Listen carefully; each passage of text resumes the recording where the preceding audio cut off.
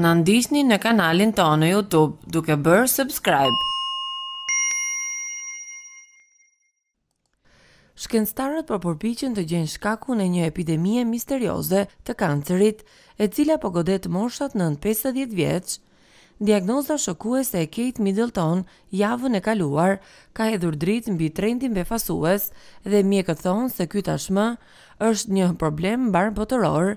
Pavarësisht viteve të tëra hulumtimi, shkencëtarët nuk po i kuptojnë dot rrënjët e këtij problemi. Por në vazhdim të lajmit tronditës, një kirurg pretendoi se fajtor për këtë situatë është edhe një faktor ende i pazbuluar.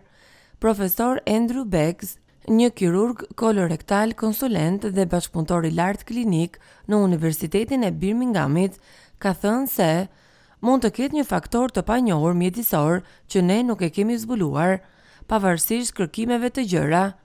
Unë drejtoj një klinikë për kancerin tek të rriturit dhe mund t'ju them se po shohim gjithnjë e më shumë njerëz tek të dyzetat me kancer.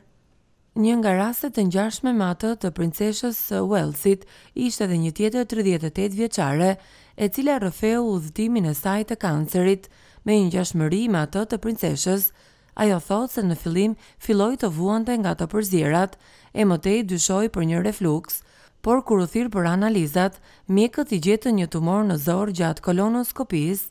Ajo më tej u nënshtrua një operacioni rutinë për të hequr një pjesë të zorrëve, ashtu si vetë Princesha e Uellsit, e cila iu nënshtrua një operacioni të planifikuar në pjesën abdominale në muajin janar.